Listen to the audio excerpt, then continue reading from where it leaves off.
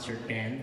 Shoreline Concert Band is a combination community band and community college band. Um, so we both have uh, longtime members uh, that are members of the Shoreline and greater community, and we have a few uh, Shoreline Community College students in the band as well. We are so delighted you're here uh, to join us for our spring concert. My name is Dr. Christopher Vongvithayamatbakul, and I am the director of this band in my first year here at Shoreline, and I'm so happy to be working with this group. Uh, we have an exciting program for you tonight that includes a guest soloist who you will meet in a few pieces. Uh, but before that, we're going to play a couple pieces for you. First one is called Boreal Pines by Cait Nishimura. Uh, Cait is a uh, Canadian composer, uh, came on the scene not too long ago, maybe less than five years ago. Uh, this particular piece you will hear kind of commemorates uh, the wildfire up in Alberta of Fort McMurray. There was a big wildfire in 2016, and she kind of wrote the piece to sort of remember what happened, uh, but also point out the resiliency of the forests that kind of undergo uh, these constant wildfires and burnings. So that's the first one you'll hear. Uh, the next one you will hear is a piece called Arsenal. It's a march uh, from Europe written by Jan Anders. So I hope you enjoy these next two pieces, uh, Boreal Pines and Arsenal.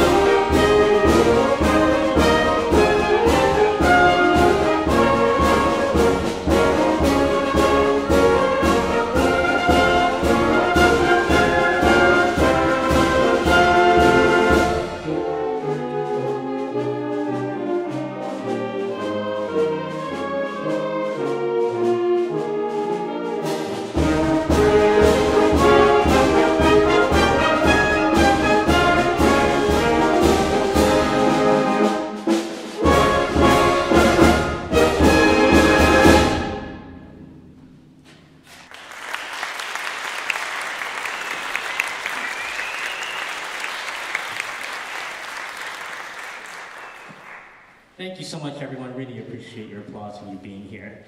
Uh, okay, so for our next piece, we're going to play selections from uh, Les Mis, Les Miserables. That's, the, that's my best attempt at pronouncing the French. Uh, so it's a musical. It's based on a book uh, by Victor Hugo uh, from 1862. Um, and if you're unfamiliar with it, basically it's about um, a man named Jean Valjean. I guess I don't want to spoil too much if you haven't read the book, but basically he was a prisoner for stealing a loaf of bread. He went to prison for 20 years. I guess they were really, really harsh back in France back in those days. Um, and after 20 years, he kind of goes free, but there's an inspector named Javert who is obsessed with Jean Valjean. And Jean Valjean tries to go and live his life and do certain things, but um, the uh, Inspector Javert, no matter what, pursues him relentlessly. And all through this, the French Revolution is also happening. And so that's kind of the story of Les Mis. It was adapted into a musical, uh, I believe in the 80s, 1980. Uh, and since then, it's been one of the longest continuously running musicals. Uh, there is a production, is it still running in Seattle on Fifth Ave? Started a couple weeks ago, um, and you can find it all across the world. Um, there was a movie about 10 years ago. The music from the, uh, the musical is so famous, uh, I Dream the Dream in particular, and um, Do You Hear the People Sing? Just a really, really popular musical, and I thought it would be a lot of fun uh, to play it with this group. So I hope you enjoy selections from Les Mis.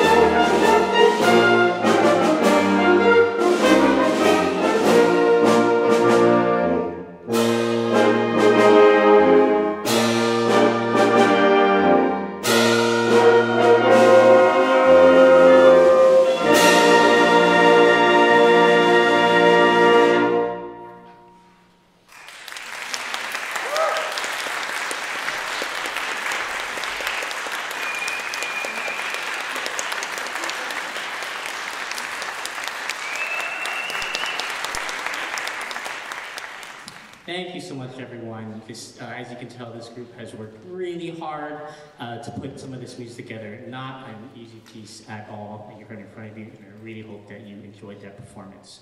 Uh, so our next two pieces are going to feature our guest, who I will introduce in just a second. Um, but first, I want to talk about the piece. Uh, so this next piece is called Variations on a Theme of Glinka by Nikolai Rimsky-Korsakov. Uh, so Rimsky-Korsakov um, was one of the most important Russian composers of the late 19th century.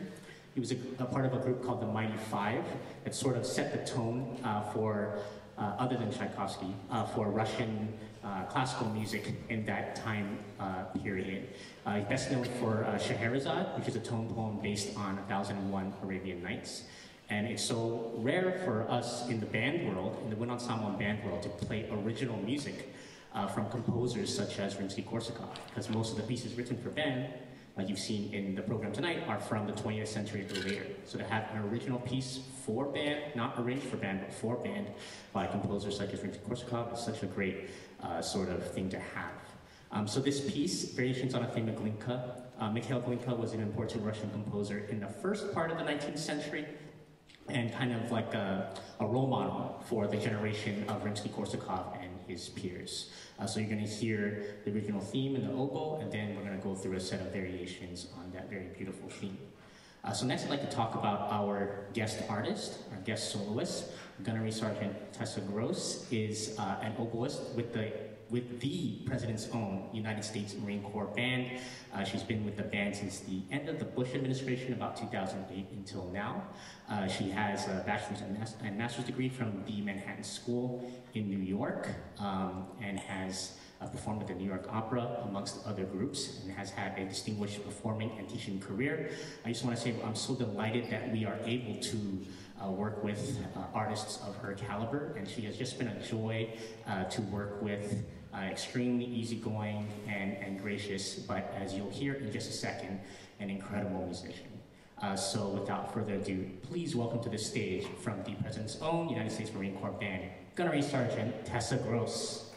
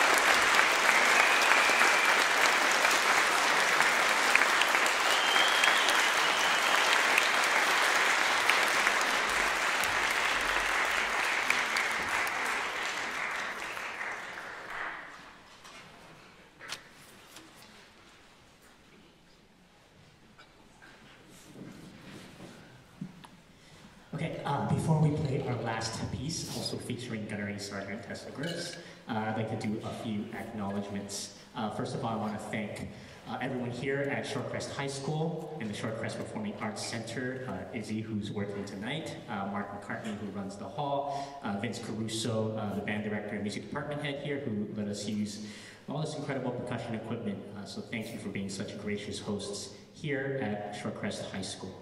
I also want to thank um, all the staff, students, colleagues over at Shoreline Community College, which is where this group is from, this is where I work. Um, so I see a bunch of student workers here, including some of my very own students, so thank you so much for helping. Uh, Jisa Kang, who um, runs our office, runs our building, does everything everywhere, uh, set up all the recordings, so thank you so much, uh, Jisa. Uh, I want to thank my colleagues, um, I see Jeff here in the first row, uh, Matt, uh, uh, Helena. Um, they've been such great colleagues in this year, my first year at Shoreline Community College.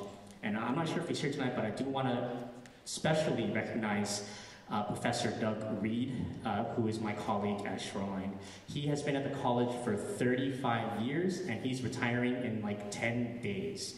Uh, so can everyone give a round of applause to Doug Reed?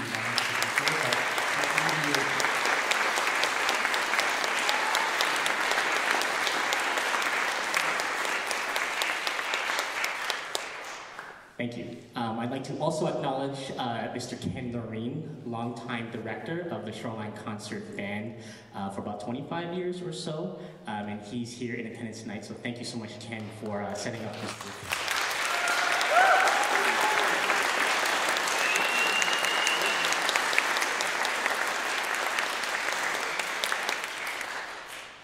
Right, and lastly, I'd like to thank uh, this group you see here in front of you, the Shoreline Concert uh, Band. Uh, so I don't know if you, you all know this, but the past couple of years, uh, us in the band and music world have run into quite a lot of difficulties with playing together, being in person, and especially playing on wind instruments where we blow into it. Uh, for a couple of years, we couldn't do it together, uh, and it was very, very difficult.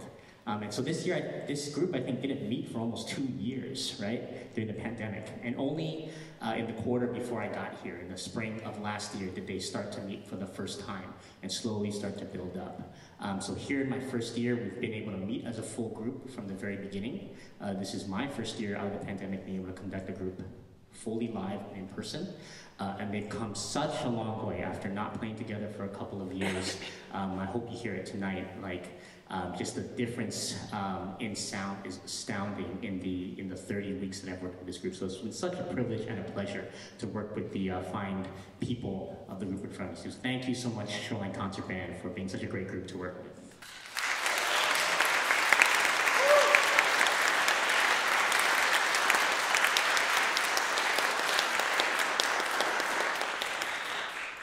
Okay, so our final piece uh, will again feature Gunnery Sergeant uh, Gross. I also want to mention that she so graciously did a master class um, for a couple high school students on Sunday, and uh, just an absolute pleasure working with her, and I hope the kids got something out of it. There's absolutely no ego. She worked with a student that had played for many years. She worked with a student that began, I think, like a month, a month before she came and did the math master class. Uh, and so it's incredible to see such a world-class musician work with students of all levels and just be so welcoming and hopefully pushing the art forward. Uh, so our final piece will be a selection uh, called Gabriel's Oboe from the, uh, the movie The Mission, uh, one of the most um, one of the most beautiful themes from uh, the famed Italian movie composer Ennio Morricone. so please welcome back to the stage, Gunnery Sergeant, Tessa Gross.